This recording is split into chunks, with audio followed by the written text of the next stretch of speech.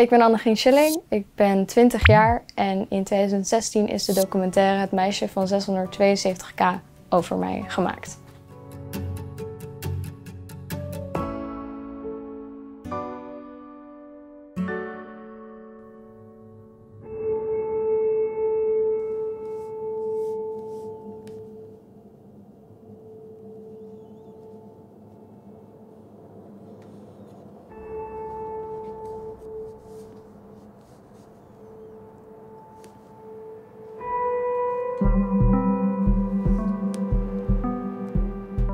Ja.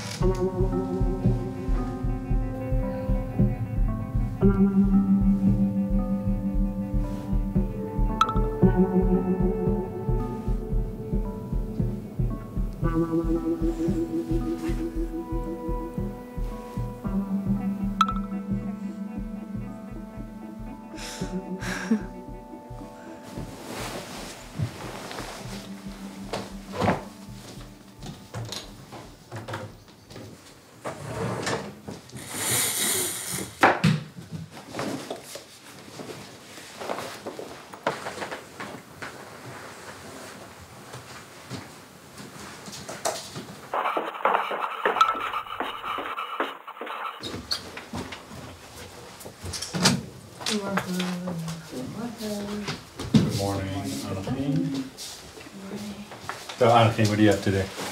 School. Any test today? Any? Het is iets waar je voor had moeten leren, toch?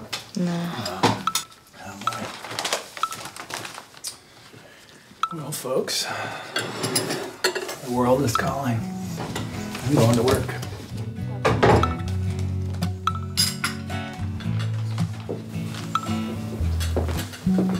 Ik was al bezig op Instagram en toen kwam ik online een paar mensen tegen die foto's bewerkten.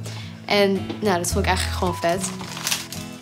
Toen heb ik echt voor dagen ben ik gewoon op zoek geweest naar de app waarmee ik dat kon maken. En uiteindelijk vond ik wat dingen en zo ontstond mijn eerste edit eigenlijk.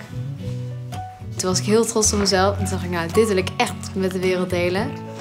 In my review, I watch you watching the twilight behind the telephone lines with nothing to prove or to assume. Just thinking that your thoughts are different than mine. In my review, I watch you, I give you your life, okay. you give me mine. Wat is dan de cue? Slowly swim away. Hij zou je nooit stil zien hangen, zelfs in zijn slaap niet. Van hij, die zwemt met zijn mond open. On. Just go on.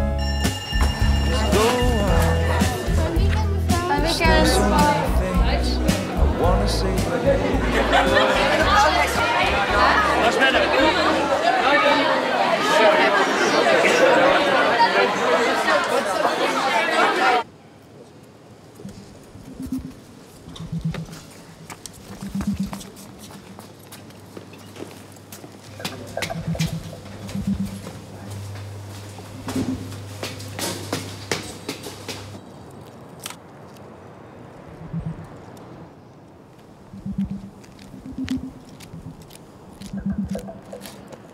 Ik ben begonnen met mezelf te gebruiken omdat eigenlijk niemand anders op mijn foto zou staan.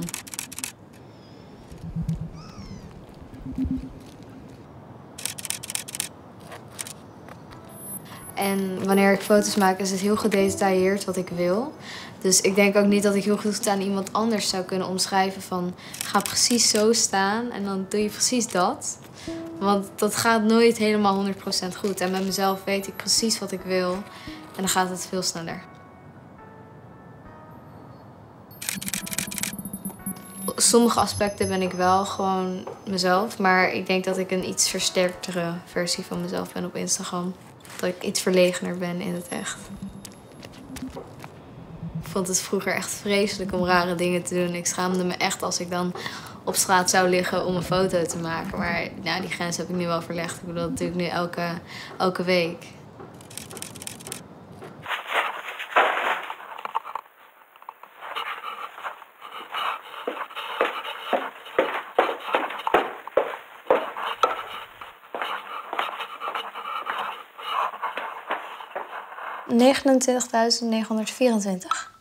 Likes.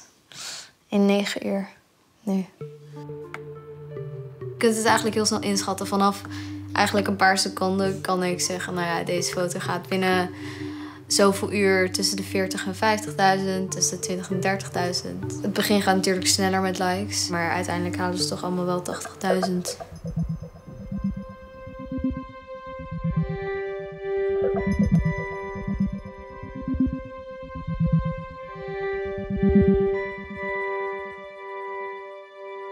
Thank you.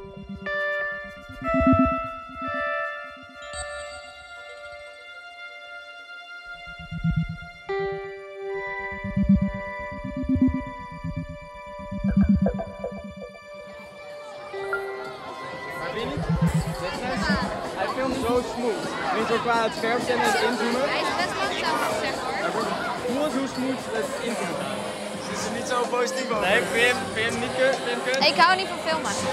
Wat vind je ik hou niet van filmen, dat hij steeds zo moet renderen om... eh, Ik hou wel even foto's maken. Wie zit er allemaal op Instagram? Kijk, wat een vingers gaan de lucht in. Eh, je kan natuurlijk gewoon een foto op Instagram posten. Dan, heb je, dan, dan ben je er klaar. Maar je kan er ook iets heel creatiefs mee doen en dat doet Annegien.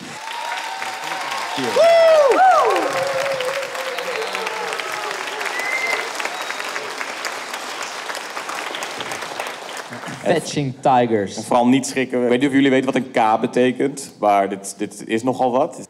En ze zit gewoon hier naast ons, jongens. Ja, dat is best wel crazy, hè? Nee, eh, jij gaat voor ons een foto live editen, toch? Ja. Ja, dus ehm, welke foto is dat? Eh, even kijken hoor. Deze.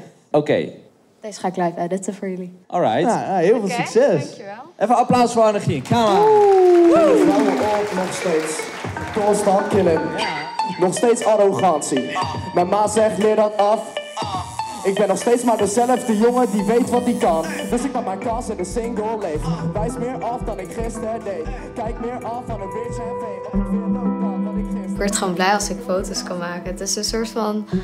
Je zit in een soort van even in een andere wereld of zoiets. Ik, ik kan eh, dingen laten vliegen. Het is mijn eigen fantasie. En nou ja, dat, vind ik, dat vind ik gewoon mooi dat je dat tot leven kunt laten maken.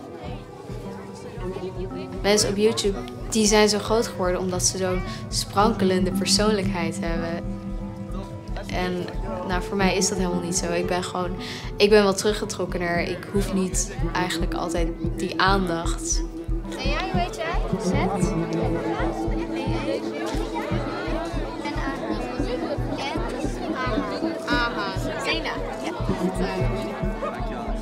Ik moet er heel erg aan wennen, want opeens vinden mensen mij interessant. En vroeger was ik eigenlijk niet zo interessant, want ik zei toch niks. Ik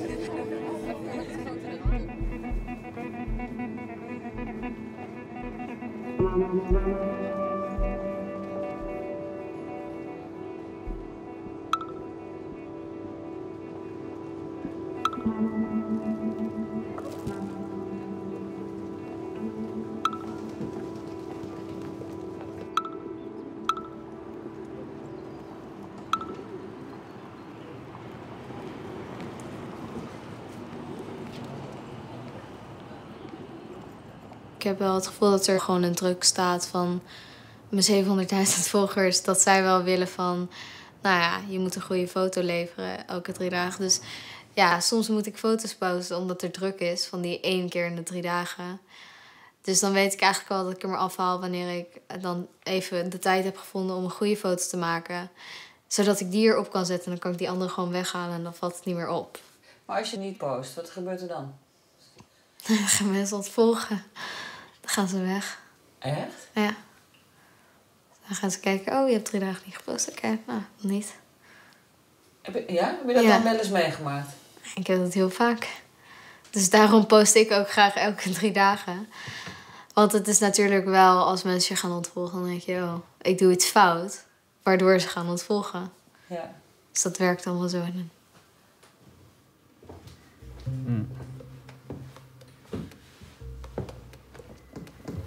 Dat vond ik wel leuk.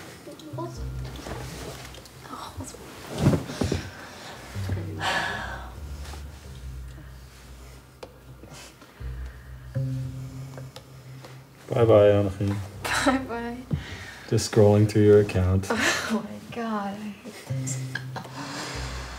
Oh my god. Oh yeah. Here you're eating you're eating popcorn out of your brain, which I thought was totally gross.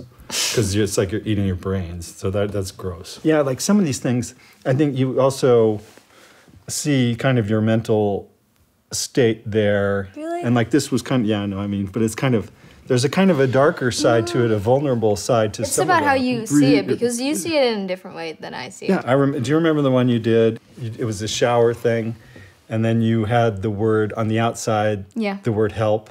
Yep. Yeah.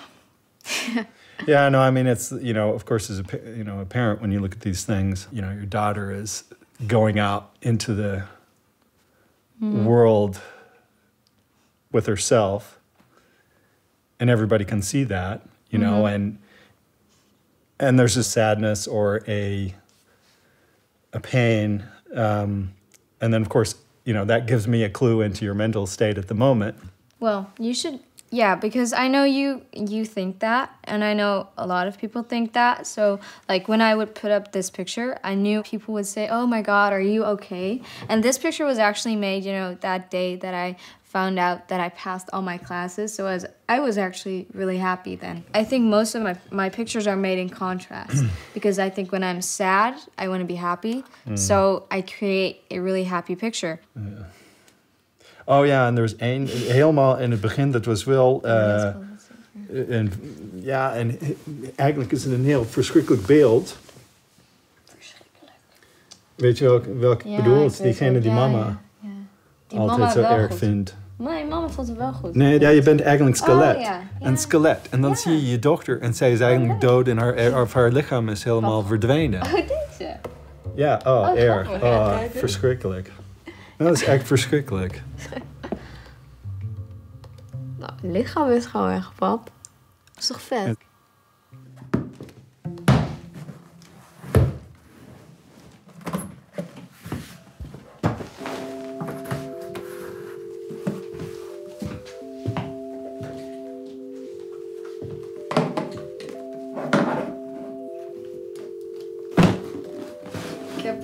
Statief, maar die is al een paar maanden kapot. En ik heb niet echt het geld om een nieuwe te kopen.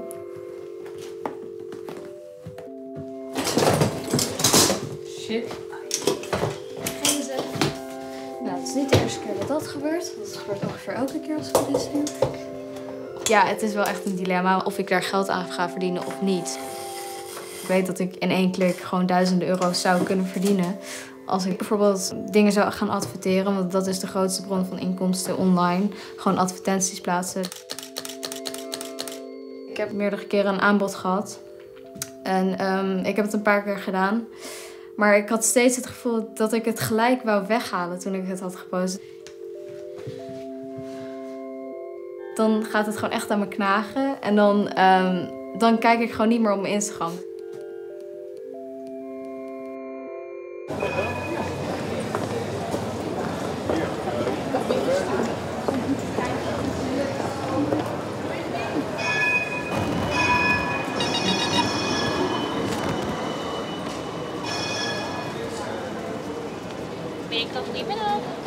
Annegien. Kan ik binnenkomen? Ja, maar kom naar de derde verdieping. Dankjewel.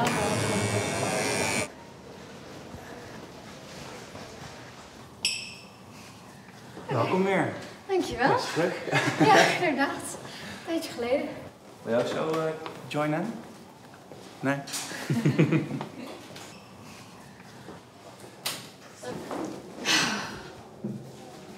YouTube. YouTube. Ja. Ehm, want wanneer is nu de laatste keer dat je iets geüpload hebt? Ik denk heel lang geleden. Volgens mij was dat net voordat ik op vakantie ging. Ja, drie maanden, zes maanden, acht maanden, tien maanden geleden. Ja, precies. Dat zijn de laatste vier. Ja, een beetje dramatisch. Stop. Stop the video. Kunnen we dit So alsjeblieft today's skippen? video is kind of different, Oh. so I'm gonna explain what it is about. So, a lot of you guys have Ik asked vind me het how I zo get vreselijk inspiration om te zien. And I actually get most of my inspiration just by doing normal things. So today I'm gonna be showing you my morning routine, and I hope you guys enjoy.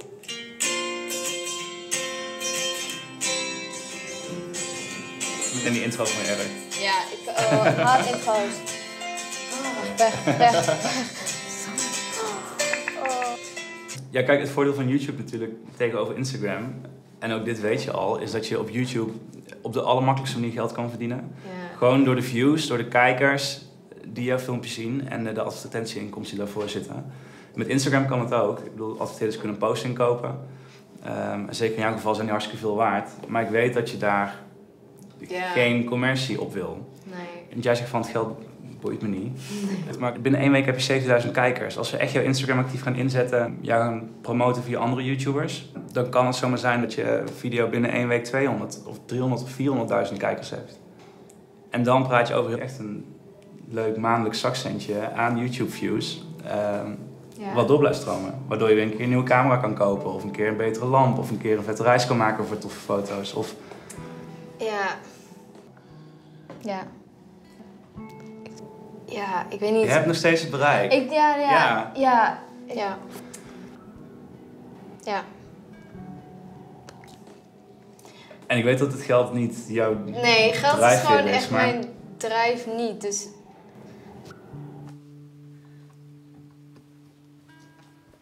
ik ben heel erg, gewoon heel erg blij met wat, wat mijn volgers voor mij hebben gedaan. Dus ik zou het gewoon ook oneerlijk vinden om gebruik van ze te maken door geld aan ze te verdienen.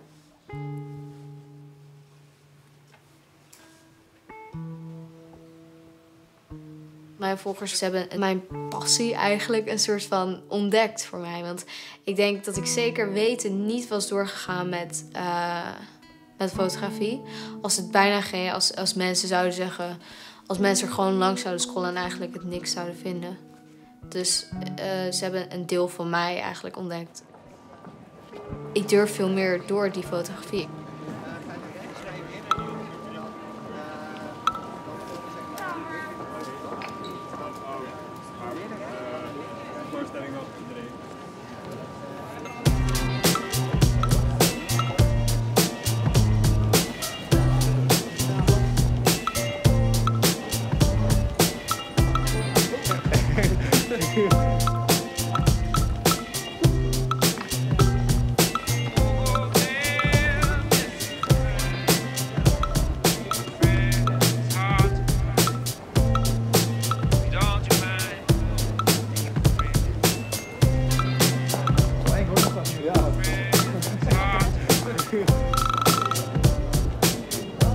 Dit is waarschijnlijk de foto die ik ga gebruiken.